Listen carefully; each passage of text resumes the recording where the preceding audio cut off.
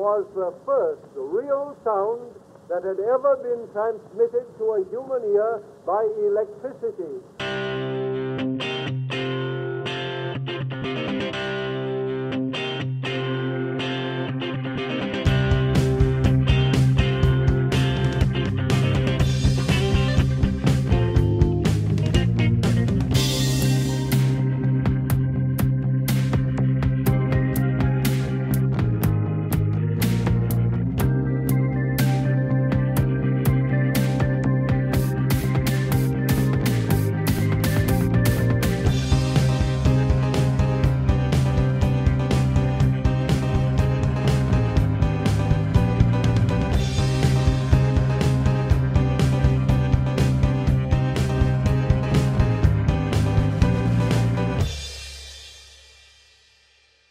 Hi, everyone, and welcome to episode 10 of the Music Dissectors, recorded January 16th, 2018. I'm your host, David Holloway, and my very valued co host is Matthew J.C. Powell. How are, how are things, Matthew?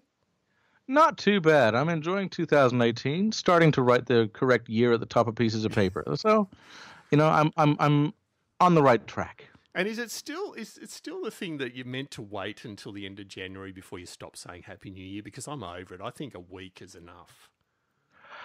I, I usually stop saying Happy New Year to people around July. okay.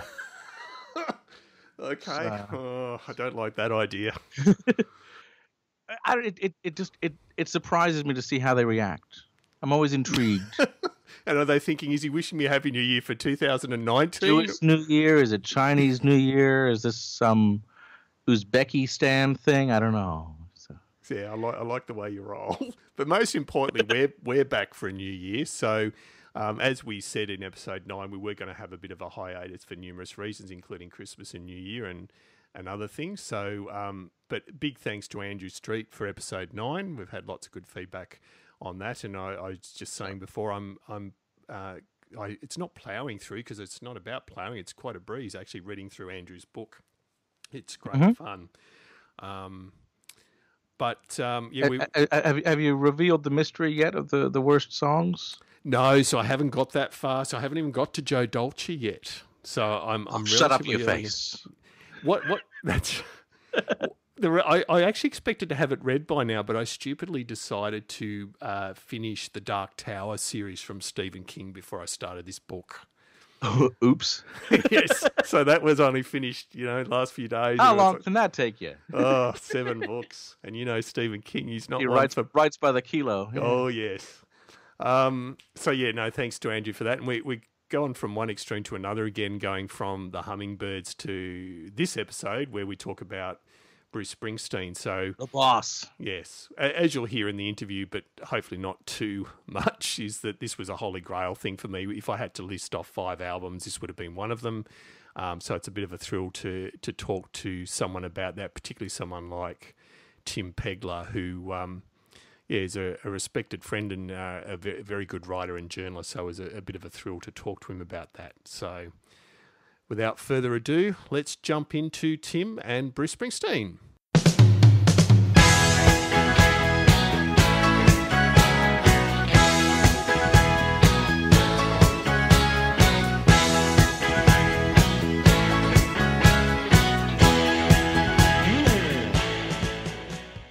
Hi, Tim. Thanks for joining us tonight. Absolute pleasure. So, um, I'm a bit excited as I think you already know, that this is one of probably five albums that I'm dying to cover on the music dissectors. So, firstly, a huge thank you to picking this, and um, I'm hoping you'll verify that there was no pressure applied to choose this particular album.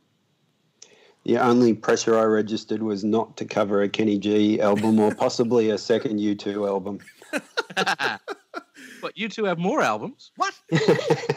Before we jump into Darkness on the Edge of Town, which I'd, I'd happily talk about for three hours, and hopefully we'll avoid that though, um, let's get a little bit of a history of yourself, like we always do. So tell us a little bit about your background, um, what you've been up to, and and even any relationship to music, whether it's just as a fan or a. I'm pretty sure you're not a, a rock god yourself, but you might surprise me. Uh, aspirations of being a rock god, but uh, have never achieved those. So no, no, uh, no professional musicianship in my background. Uh, I've been a journalist for well, over 20 years now. Uh, I've written a couple of novels for young adult children, and I'm currently working in the IT industry as a kind of an ideas man, I guess, more than anything else. So, I guess uh, one of the things that, that came through when you asked me about this and to, to choose an album was that professionally I'm a storyteller. And so I'm drawn to music that tells a story. And so I immediately thought of the songwriters like obviously Springsteen, but Paul Kelly in Australia, Johnny Cash, Mick Thomas from um, Weddings, Parties, Anything, Tom Waits, Leonard Cohen, um, you know, amazing Archie Roach, and uh, Ben mm. Folds, and so on. And so I, I love um, songs that tell stories. And uh, you know, if I can talk about Paul Kelly momentarily, um, you know, how to make gravy just about brings me to tears every single mm. time. I still I still love songs like Private Investigations by Dire Straits. Um, I don't know if you guys know it, but Still Fighting It by Ben Folds. Yep.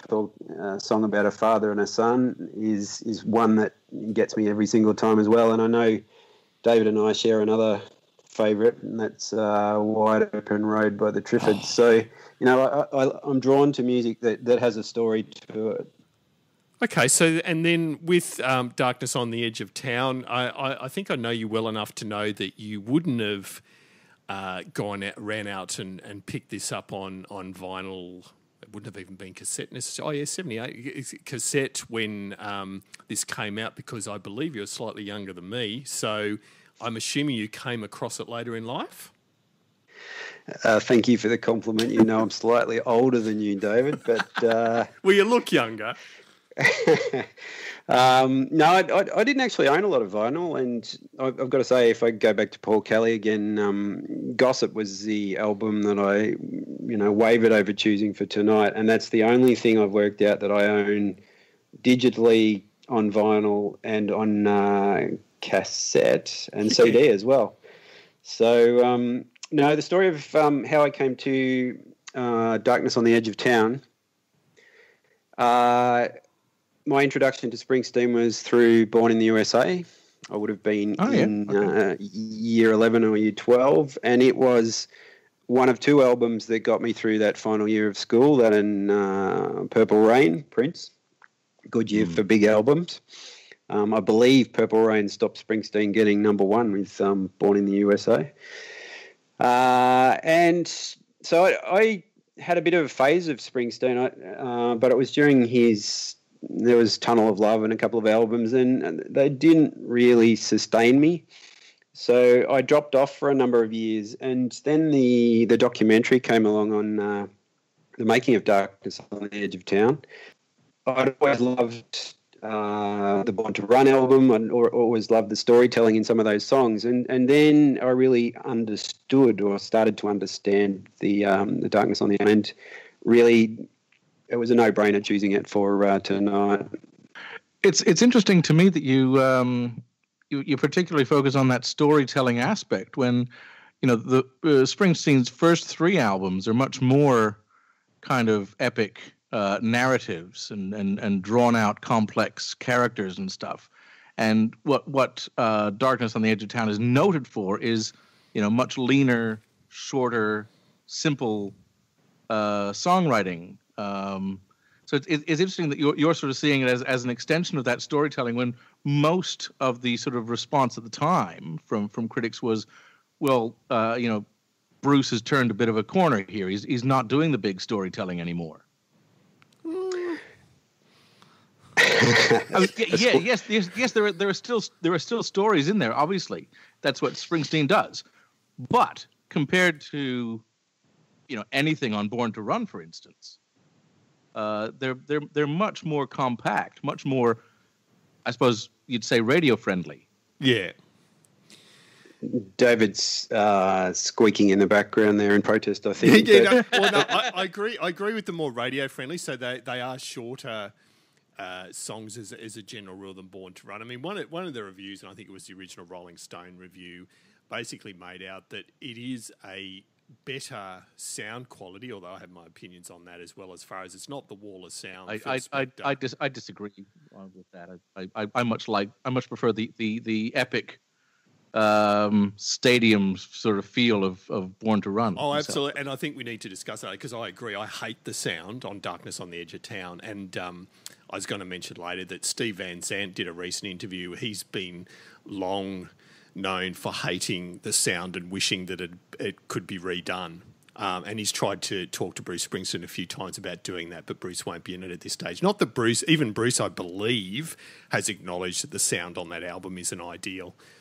But um, yeah, more radio friendly. But uh, the reviews tend to still talk about it being fairly epic topics, songs about losing hope or you know getting redemption.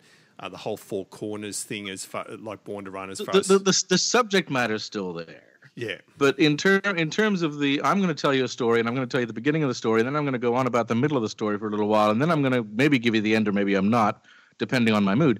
That's not really there. It's uh, they're they're they're more. God, I I really hesitate before calling them. They're they're more like pop songs yeah, yeah. because It's they're not pop, interesting. they're not they're not pop songs, but they're they're more in the form of pop songs.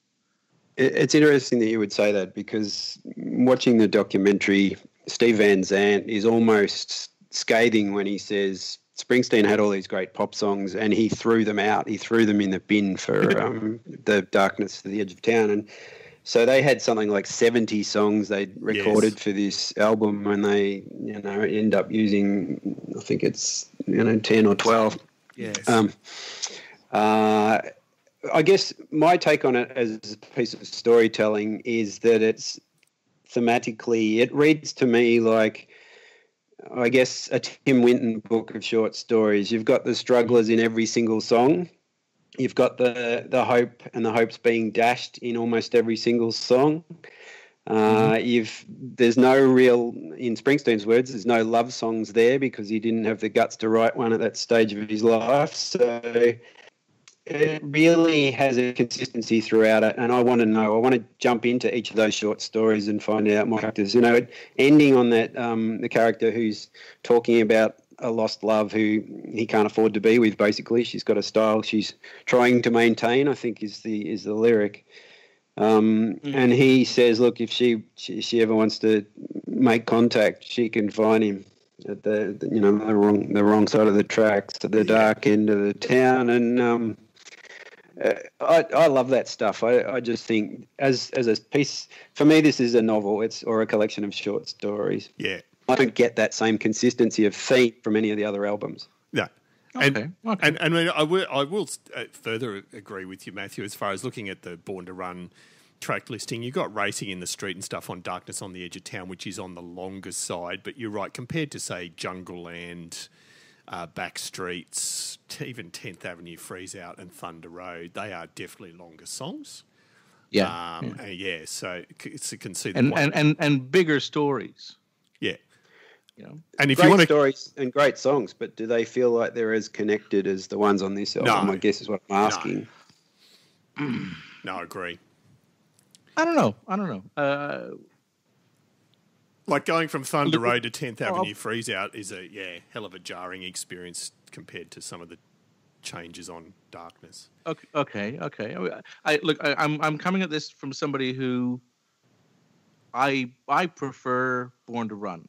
You know, my my my, my own personal. I'm not a huge Springsteen person, but this compared to Born to Run, which is my favorite Springsteen album. Yeah. Um. I, I, I feel a, a, a connection between the songs on, on Born to Run that m- maybe isn't there for somebody who d- doesn't like it as much. I don't know. Whatever. Well, it, It's it's it's interesting that um, so my favourite song by Springsteen, I guess it's close to a tie between um, the Ghost of Tom Joad and um, Thunder Road, but I've actually named my blog after Thunder Road because that that song speaks to me as well. Uh, so Yeah, I, I, I love Thunder Road, but you know, it, So- it, feels like, it feels like a Bob Dylan song to me. Thunder Road. Yeah, it does. It does. And it was interesting. I was listening to some of the outtakes from Darkness on the Edge of Town tonight, and uh, the alternate version of Racing in the Street sounds a lot like Thunder Road. mm, And Really? you could maybe a transitional song for him. Um, I guess one of the differences for me, or, or, actually Springsteen calls this out on the documentary as well. He says, "Born to Run" was an album about running away, you know, escaping, whereas "Darkness on the Edge of Town" is all about staying and struggling and compromising and just you know just resilience, I guess, fighting against the grind. Yeah. So that, I guess maybe maybe it's my phase of life, but that that's where I identify more at this moment in time. Yeah. Okay. Um, and I'm not sure whether this is the right juncture to talk about the sound, but I mean, where I've struggled, I mentioned with Darkness, I don't like the sound. It's because a lot of the songs on that album I didn't truly know well until after I'd, I'd really got into his live stuff. So I'd argue nearly every single song on Darkness on the Edge of Town is now 10 times better live than what it is on that album. Uh, whereas with Born to Run, it's a little bit of a closer dice. So you were lucky enough to hear the album played end to end live, and I've yes. got to say, until until I heard that recording, I didn't really like um, Adam Raised a Cain. And there was a, there were a couple of songs that I thought, eh, you know, they're they're a bit, they don't stand out like the others. Yeah. But when I mm. heard it live, I thought I had a newfound respect for all of those songs. And then you get like the keyboard solo in Racing in the Streets, and, and you just think, oh, you know, I can die happy now. That's right. yeah, yeah. He is a hell of a live performer. Yeah. Uh, I've best best concert I've or best performer I've ever seen live. Because you've seen him a, a handful of times now, haven't you, Tim? Uh, three times now. So yeah. after you know wasn't able to go when I was in year twelve, and then didn't know about the Tom Joad tour, and so it wasn't until Hanging Rock a couple of years ago that I got to see him live, and it, it met every expectation, yeah. surpassed them. Um, yeah, agree. And just on on as far as live shows, I've just got the top ten songs he's played live in his whole history um, and uh, number one, not surprisingly, is Born to Run. And number mm. two is Thunder Road. But unless I'm, I know 10th Avenue Freeze out there as well. So three of the top 10 come from Born to Run, and three of the top 10 come from uh, Darkness. I would have really? thought Badlands might have been up there. Yeah, Badlands the third most played ever. Uh, and then the Promised Land, mm-hmm. which is from Darkness, obviously is four. 10th Avenue Freeze Out five. Dancing in the Dark six. Rosalita seven. Born in the USA 8, Hungry Heart 9, and Darkness on the Edge of Town 10. There you go. Interesting. Yeah, so 1,575 times he's played it live. and he still makes wow. out he's not sick of it. I shouldn't shouldn't name names here, but I, I went to a concert by a very high profile Australian artist at the Arts Centre many years ago, and he just he basically swore at the start of the night and went, "Yeah, really, I'm not in the mood. I can't. I'm not going to play any hits tonight." Yeah. And that is well and good for the uh, the diehard fans. But my brother and sister, who I dragged along with me, both fell asleep in their seats. Literally slept through the oh, concert. So you've got to mention names, otherwise it's guessing. Like the one that comes to it, like I could imagine Marc Hunter from Dragon doing that. Nope. Paul Kelly would never do that. Paul Kelly did do it. Oh, really? Really? this must have been in his um, lesser days when he was a bit um, had some other issues going on. Uh, it wasn't wasn't his finest night, I can tell you. No, gee, there you go. Wow. anyway, that that really surprises me. I, I say that as a big fan. Absolutely. Um, all right, so let's. I, I, I, I mean, you, you, talk about the songs that he's performed most live. Uh, if you if you look at his greatest hits compilation that came out, what about ten years? Yeah, ten years or so ago? That. Yeah, yeah. I got longer than that. Uh, I'm just looking at it. Uh, 1999. Oh, okay. Um, you know that has 15 tracks on it. One is from Darkness on the Edge of Town. It has Badlands. There you go. And, and see, I would agree with that based on I don't like the sound quality of that album. That to me, that's a good choice because the other albums do sound a lot better. But if yeah, you record it in a farmhouse and you deliberately want to want to make it rough, well, you know they've they've achieved that, and I think that was a, a stylistic choice. It um, was. Yeah. He yeah. says, uh, "quote I stripped it back to its barest, most austere moments. I wanted something like a tone poem, no distractions from the stories. I wanted Yeah. apocalyptic grandeur. Yeah. I love Yeah. that.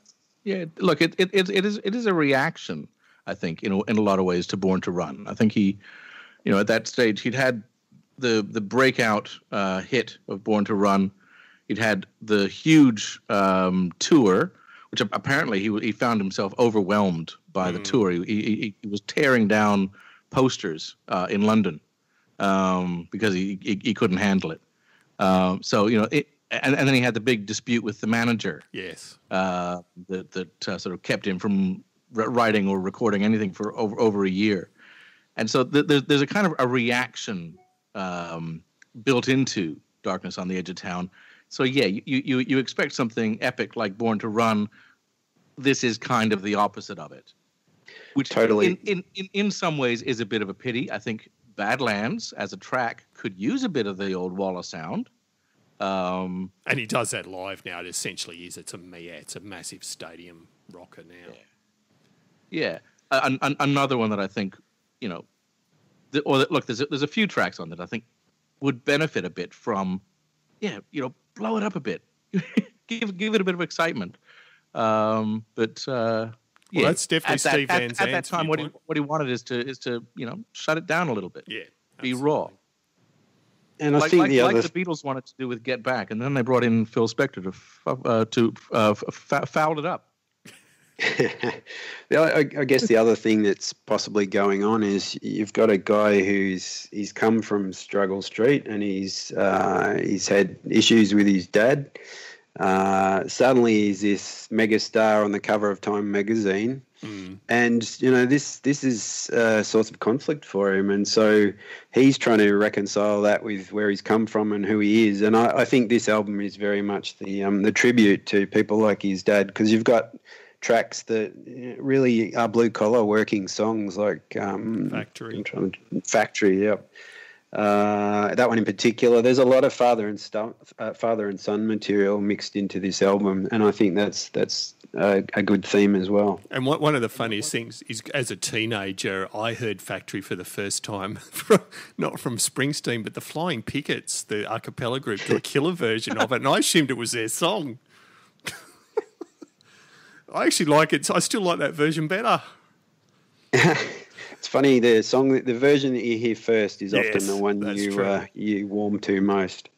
Yeah. Uh, it, it, did, did, did anybody else, you know, know that Manfred Mann's "Blinded by the Light" was a Springsteen song? Yeah, I did that one. Um, but and I like Springsteen's pronunciation of the lyrics better than Manfred Mann's. Well, well, while we're talking about other people recording his songs, you know, one of one of the songs that he threw out Yeah. and couldn't fit on this album, you know, went to Patti Smith um, right. because the night, and uh, she talks about being given this this tape and you know not really wanting to do it, and then her boyfriend wouldn't ring her up. She's waiting up for him to call, and she's listened to this tape over and over and over again, and she said it ended up giving me the one hit song of my career. Yeah. So it's it's interesting that uh, you know that Springsteen did throw out so much uh, material, and as I say, um, um, Van Zandt's quite scathing. He said Springsteen could have been one of the biggest pop stars in the Oh, world, but God, he just didn't want to do it. No, that's right. And I think, uh, correct me if I'm wrong, but I think Fire was a throw off from these sessions as well. Yes. Yeah. Um, it's just amazing. Yeah, and the, the promise. So for those uh, more casual Springsteen fans, in recent years, um, it was just over the 30th anniversary. I think it was the 32nd or 33rd. Anyway, whenever it was, they released the box set, and the promise, which is an uh, an album they reissued, is what I think Tim is 10 or 12. No, it might be even more than that. Songs 20. It might it might be a double album's worth of the the throw offs and there it's easily a good quality double Springsteen album that without any m- much work whatsoever. It's a good quality anybody else album. I wouldn't say I'd rate it against Springsteen's No, best true. stuff. No, true. Uh, but there are some really strong songs on it, and and poppy songs, and um, you know rockabilly stuff, and uh, it, it just it just doesn't fit with the story he's telling on Darkness. No, that's right. And if um, Steve Van Zandt and his outfit have a new album out, like in the last 12 months, called Soulfire, and if you listen to that, you can see the impact Steve Van Zandt had as producer on Darkness, the Darkness sessions, he was very much trying to get that brass section um, soul sort of feel into some stuff, and it obviously didn't fit.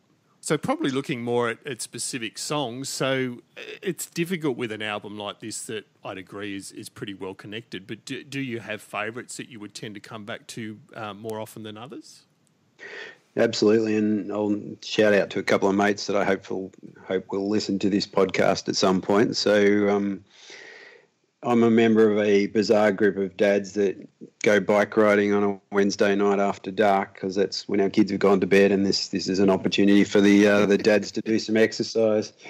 And so I think of myself and some of my mates that the bookend their days, you know, unloading and stacking the dishwasher before they go out to exercise. And so there's a lyric in in Racing in the Street that says, "Some guys they just give up living and start dying little by little, piece by piece."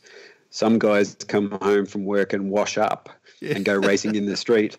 and I always, I always thought the wash up was a bit funny, but uh, it kind of fits perfectly with, with my crew and the fact that, you know, we do the dishes, then we throw on the um, middle aged man in lycra gear and off we go. Now, some guys, they just give up living and start dying little by little, piece by piece. Some guys come home from work and wash up and go racing in the street. Tonight.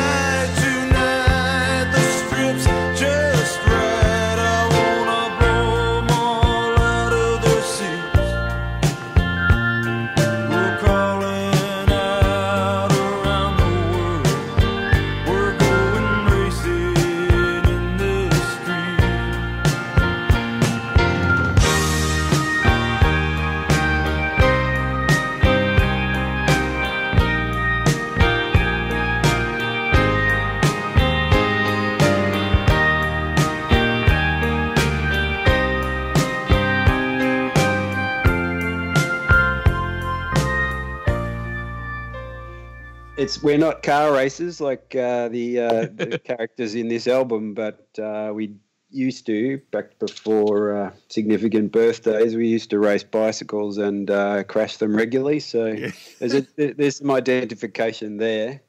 That's great. I, and I guess another one um, is the Promised Land, and and again a great great live track. Mm. If, if, you're lucky enough to see it, and I just think you know when you when you get to your your forties or your fifties and you've been working for a number of years and you know maybe you haven't paid your mortgage off yet and it's getting to be a bit of a grind. I think the whole idea of I get up every morning and go to work each day, but your eyes go blind and your blood runs cold. Sometimes I feel so weak I just want to explode, explode and tear this town apart, take a knife and cut this pain from my heart find somebody itching for something to start.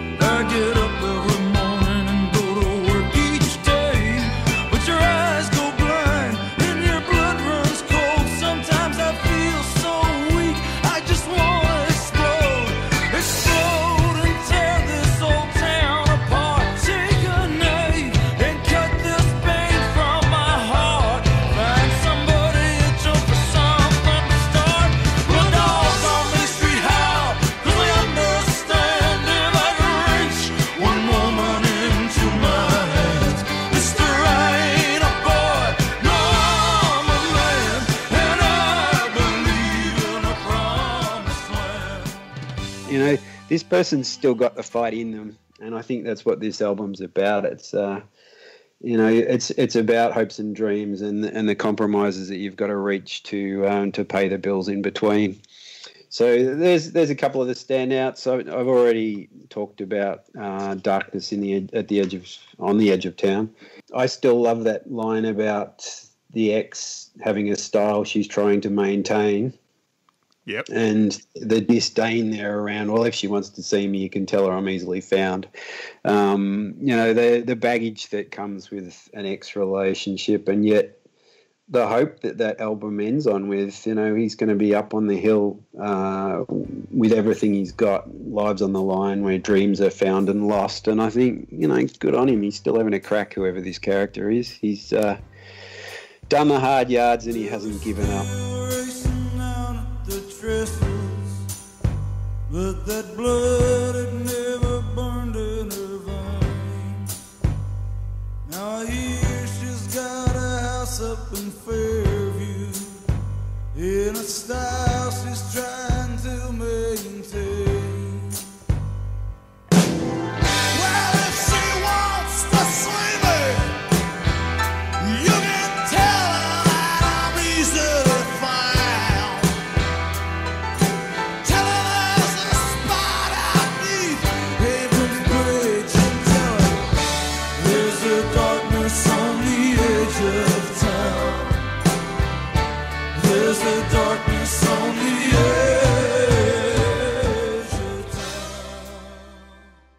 So there's some of the standouts, and I mean you can't go past Badlands, and and really what I've just done, and this had never occurred to me, but when you look at it on vinyl, you open with Badlands, you finish side one with Racing in the Street, you open side two with The Promised Land, and you finish with Darkness on the Edge of the Town. And they deliberately structured Yes. the album so that the strongest uh, tracks were, you know, start and finish of each side of the of the Mm. LP, and um, you know that, that's that's writing a novel as well, as far as I, as as as I see it. A book with the ups. and- It, it's something something that's been kind of lost in the digital age, isn't it? How, how you structure the track listing on an album. Exactly. You know, Absolutely. how- what, what do you put at the end of side one that's going to make people want to flip to side two? uh, I, I don't think people write albums anymore, really, do they? Not from And- that and that's one- program, yeah. No, that's that's one of the things I look for. I, I look for an album where the songs seem to flow from start to finish, and that, that I feel like they've been connected. And, and that's not to to be disrespectful to someone that can write good individual songs, but if you can, Mm. I guess it's, it's the the storyteller in me. I, I want to see the chapters connecting together or some sort of linkage between the songs. And you're and you're right. It doesn't happen as much now. Sorry, I'm just looking through the, the most played songs. Just um, uh, you mentioned Promised Land there. I mean, he's only played that 1,204 times, so it's it's pretty fresh for him compared to Born to Run.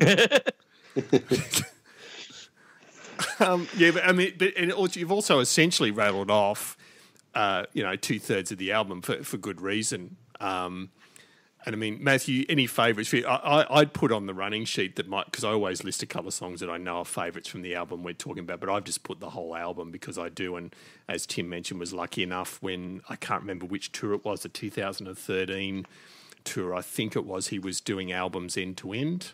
Might have been the more recent one again. Um, and was lucky enough to be in Sydney when he chose to do Darkness from, from start to finish, which I was pretty wrapped by. Um, so that's why I just tend to like the lot. But Matthew, any standouts for you?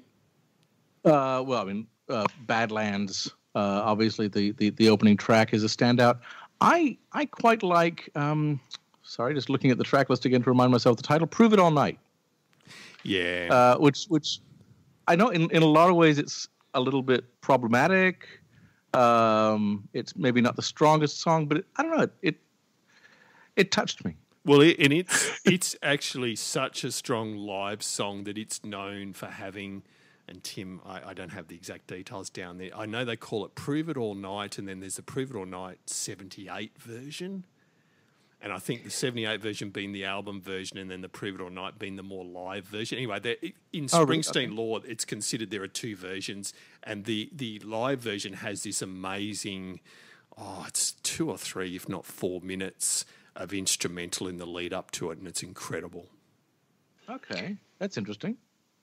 And it's it's one of the again one of the things that happened with this album is he recorded multiple versions of many of the songs, and so I've, I'm lucky enough. My wife bought me for a birthday the uh, his note a copy of his notebooks for the album, Oh, great. and and you can go through and see him rewriting and rewriting and rewriting. And again, as I guess as a as a storyteller, I really I identify with that. I don't like rewriting, but it's part of part of the job, and you get a better story or you get a better song out of it. And so he um, with racing in the street, the the final verse is about um, you know the relationship um, between the man and the woman and how things aren't going all that well. And he, he did versions of the song where the, the woman wasn't in it at all. It was just a car racing song.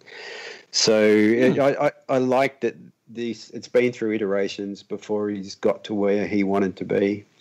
And I mean, they know how to appeal to us old blokes. So when you talk about the notebooks, for those that are unaware, with the Darkness on the Edge reissue for the, the anniversary, they released this beautiful, um, it's, well, it's like a box and it's got um, a spiral bound, uh, I believe, 100% accurate replica of the studio notebook that Springsteen Oh.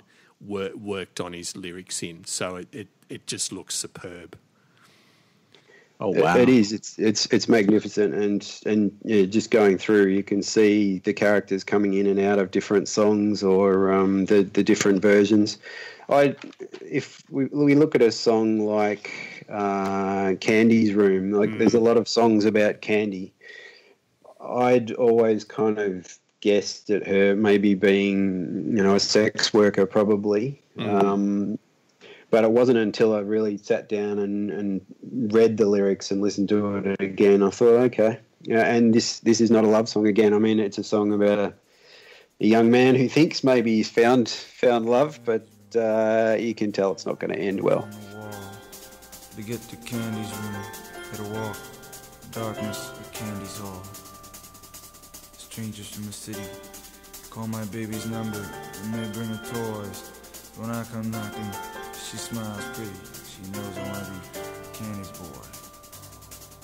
There's a sadness hidden in that pretty face, a sadness all her own from which no man can keep candy safe. We kissed, my heart just in my brain, and the blood rushes in my veins, the fire rushes through the sky. And we go driving, driving deep into the night. I go driving deep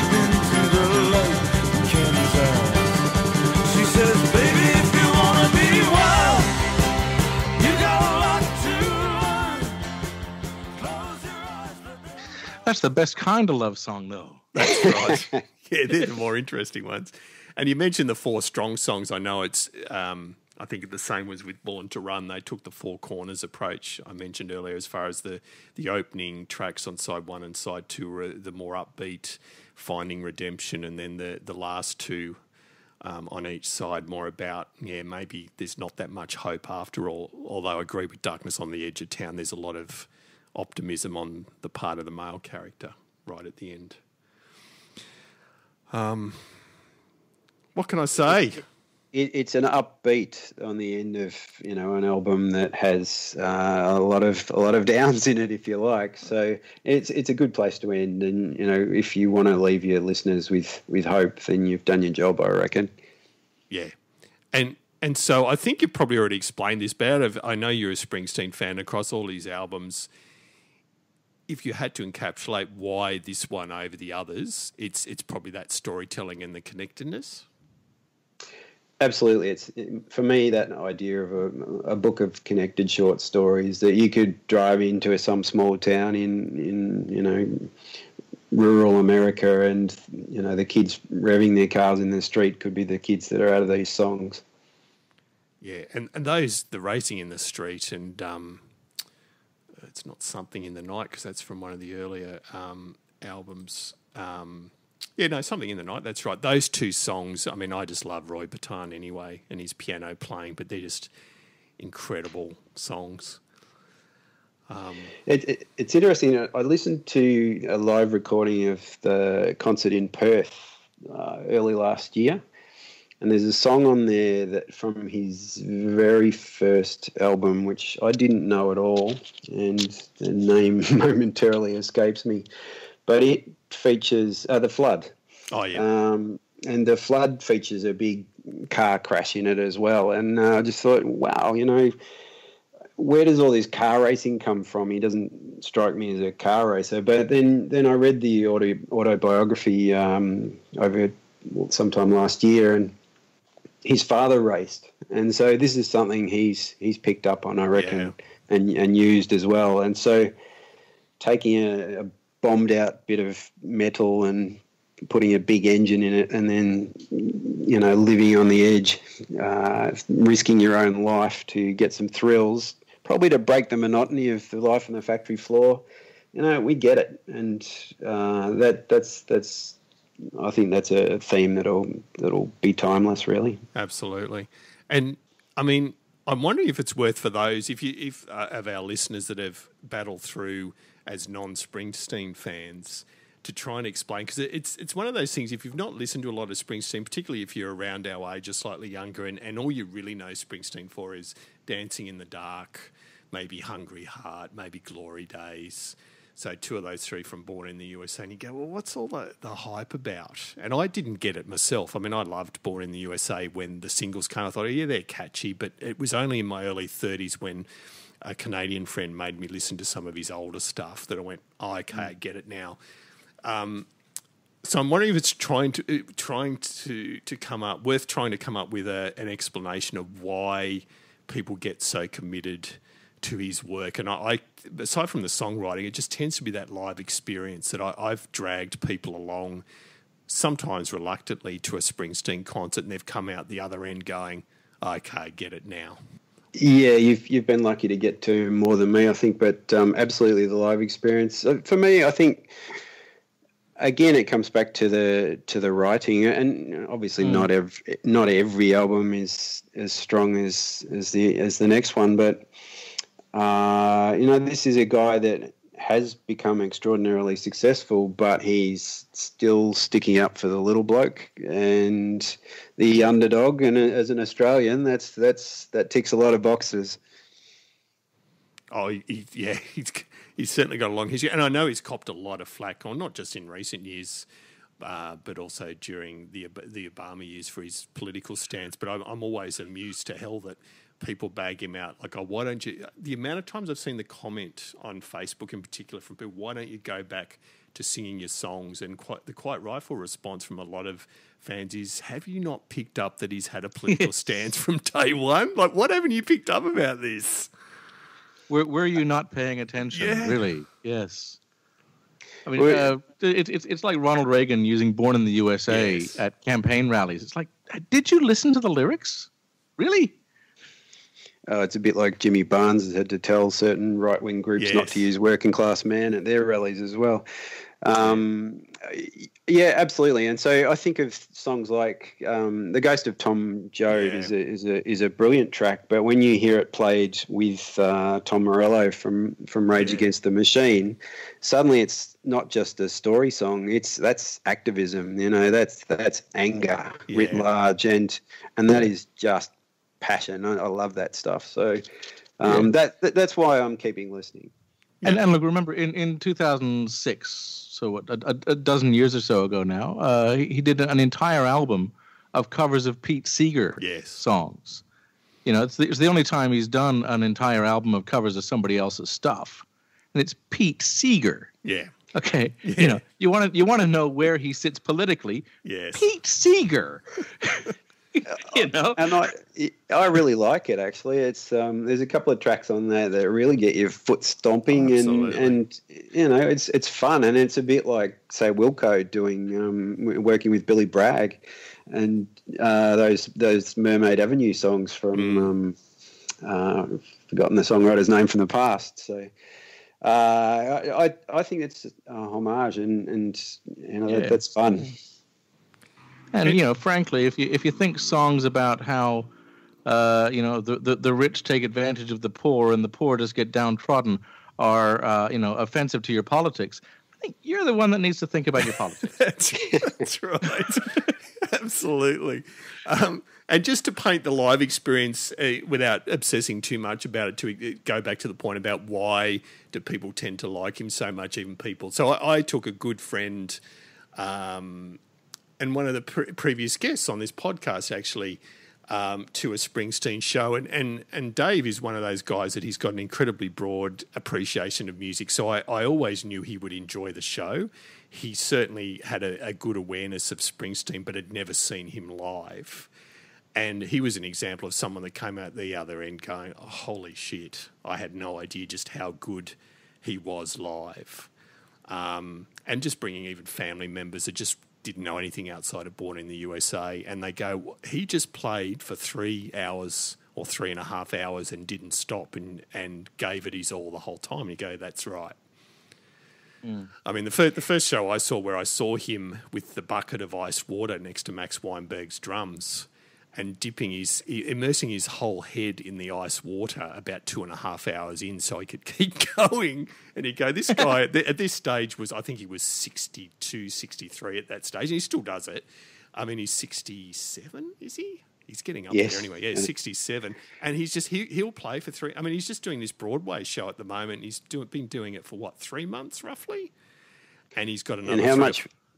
How much would you kill for a ticket to that, Dave? Oh, I know. And it's all sold out. So I think, I believe he's extended till June or something. He's extended anyway. And he's, he's doing, I'm assuming, five, is it five shows a week? Something like Don't that. know. It's, it's just incredible. So to to um, you know pay tribute to what you've just said, I think it was 2014 when I got to see him the first time live, and I went with three of my um, best mates.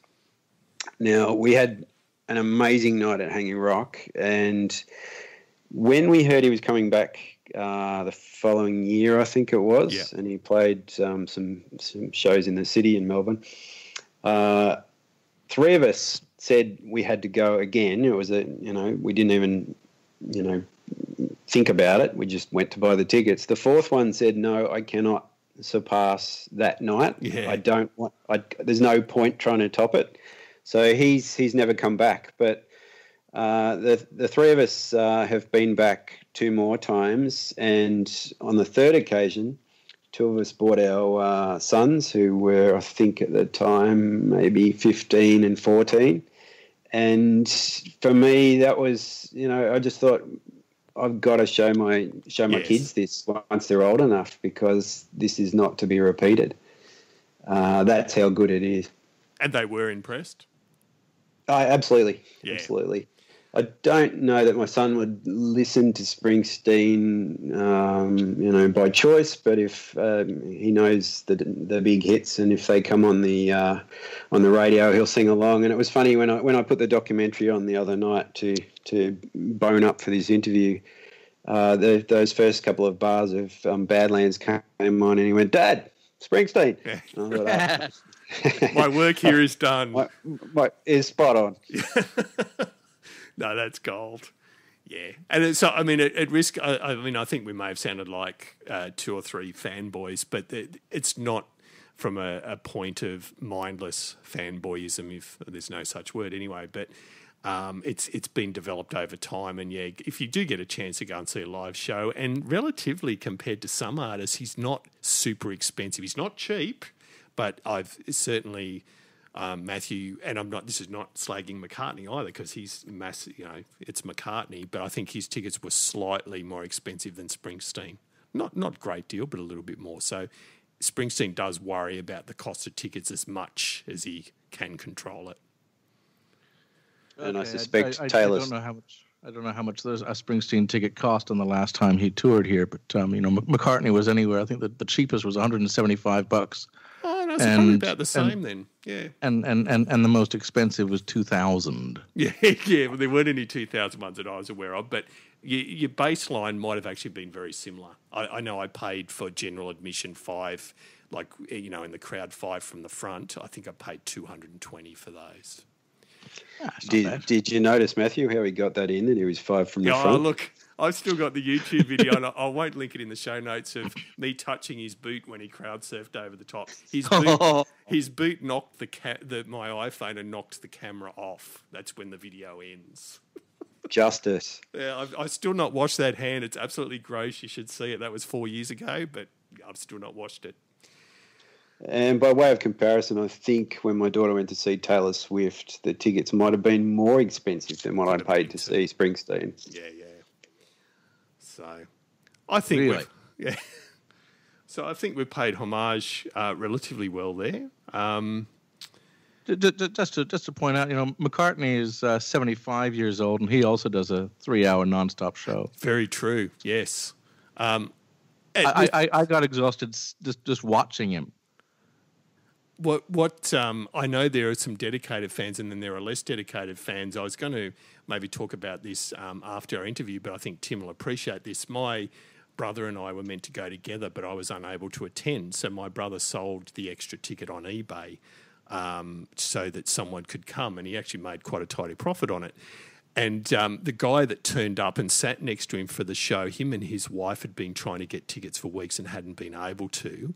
Um, unbeknownst to his wife, he took he bought this ticket, left work, turned up for the show, texted his wife, and I won't go into the specific language, but basically texted his wife saying, um, "Eat excrement. I've got a ticket. I'm coming on my own. Ha ha ha."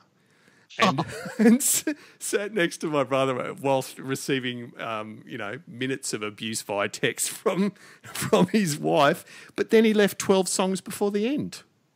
Oh no. My well, I brother don't was think anybody likes him. Like, my brother was gobsmacked. Like, why would you pay hundreds and hundreds of dollars for a ticket and leave 12 songs before the end? Maybe he was in fear of his life or marriage. Yeah, his marriage was officially over, and he was trying to go back and get the dog. But, I would say so. uh, sorry, that's totally off topic. but I Got, got, you- got to get out of here while the good divorce lawyers are still available. That's right. Uh, anyway, that's off topic. I'd never Well, not really. If if you Google "twist and shout" with Springsteen and McCartney, True. you get to see a pretty rocking good uh, guitar solo. So Yeah, very true. they both go hard. Yeah, absolutely. Tim, thank you for that. You've you've made my year, and it's it may only be the first episode of the year, but it's going to be hard to top this because it is one of my probably five holy grails to talk about. So you, you've made me very happy. But more, more importantly, I hope you've enjoyed talking about it. Uh, it's been fun, and uh, I feel sorry for Matthew. He's been uh, unusually quiet in this episode. I think. you, you, you guys, the, the, the Springsteen fans, it's just been, I, I've just been sitting here basking, basically. The, the, the warmth of your love for Springsteen has just been sustaining me. Yes. And if we can get a few more people to go out and watch, you know, the poor bugger needs the money. We've got to get some more people to his shows. well, I, let's just say I couldn't have talked this long about Kenny G anyway. That's right. And look, basically, what you rattled off, Tim, was uh, most of my Hollywood. So, I mean, I'd love to talk about the Triffids, Paul Kelly. Um, you mentioned another couple there that I thought, oh, they'd be so good.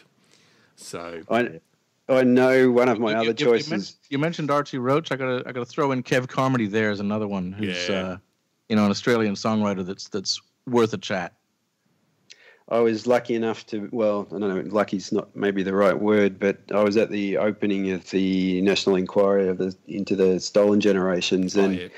Archie Roach came along and, and saying they took the children away, and I can tell you there was, there was not a dry eye in the house.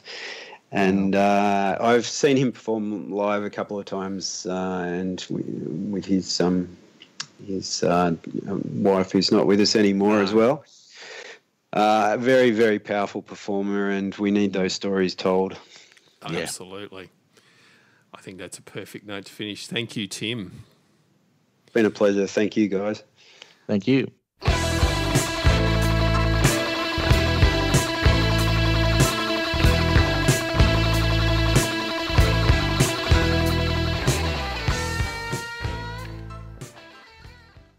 All right, Matthew, I've got to ask, how bad a fanboy was I in that interview? Look, I only cringed maybe two, three times tops. That's not too bad then. not not too bad. Not as bad as it could have been. Good. Not as bad as it could have been. No, you you you were you were uh, the, the the the very picture of control. Oh well, yeah. you don't want to see me at a Springsteen concert, but yeah, no, it was good. So um, I promise. No, I, I want to see that video. Oh yeah, well I'll send you the You're link. kicked. Yeah, I see that. Yeah, no, I've got I've got video proof. I touched his, and I, I'd like to say I was I showed a greater level of decorum than my friend that I was with. Um, so I grabbed him when he was coming towards his feet first. I I thought I'll grab him on the boot. Um, my friend grabbed That, him. that's tasteful. Yeah, my friend wasn't quite. He was a bit more forward. He grabbed him straight on the bum. He wasn't missing out, yeah. and he wasn't missing out on the opportunity. Nah, nah, bit bit of, bit of uh, boss bum there. Yeah, Gotta, you know. got, you got to take your opportunity while it comes. And I understand why he wears very tight jeans now. You got to have some protection there. yes. I'm sure they're metal plated jeans. so, Yeah, big thank you, Tim, for that one. And um, yeah, I- I think we all have our Holy Grail albums. And um, I said, hopefully next time it's one of your yours, Matthew. And I, I, I know I'm not going to give away mine, although Tim, I think I in the interview mentioned he, I think he rattled off a couple of bands that are in my top five. But we're going to get that Beatles choice eventually. Somebody, somebody out there has had their life changed for them the first time that they heard a Beatles album. I know, and it's probably a female entomologist. it's prob- probably some some woman who who works with bugs, who really loves beetles of all kinds Oh, I see. And, oh, uh, see, I'd never even and thought and, and all spellings. See, that'd be just too funny. I'm see, I'm stretching it now. I You really are stretching it. It's on the borderline of dad joke, but it's still good. Until we get email feedback to the to the contrary, it's still good. so yes, no, thank you, Tim, and um, yeah, we'll be back in roughly a month. Um, I believe we're back on schedule anyway. It should be New Year, so um, I know. Yeah, Happy New Year, by the way. Yeah, absolutely. And may, may 2019 be great for you as well. um, as always, we love hearing from you. So if you've got an opinion, suggestion, or you want to offer yourself up as a guest to review an album you love, then please do email us at contact at themusicweek.net. Um, our Facebook page is at facebook.com forward slash music dissectors. Um, and yeah, any album you'd like to talk about, we're interested. So we went back to 1978 tonight. We still we need a couple more in the 90s, I'd argue, and I'd love a 2000s album just for something different. Um, but that said, anyone that comes up with 70s and 80s, I automatically start drooling, so I can't be that fussy. Um, but we'd love to hear from you either way. Um, To tell us the album that changed your life. Absolutely, We want to know. unless it's Kenny G or Joe If, Dalton. if, if look, if if Kenny G changed your life, then you know you need to change your life back. that's, that's, that's right. we, we'll we'll we'll give you names of some good therapists. Uh, you'll find previous episodes of the show, as always, on iTunes, and we are also to be found on Stitcher and TuneIn. Um, and you can actually listen to the episodes directly on our website as well, www.themusicweek.net. So, yes, thanks very much for listening, and thank you as always, Matthew. Thank you. It's been fun. And yeah, we'll be back in a few weeks as always, but in the meantime, find a new album to love. Good night.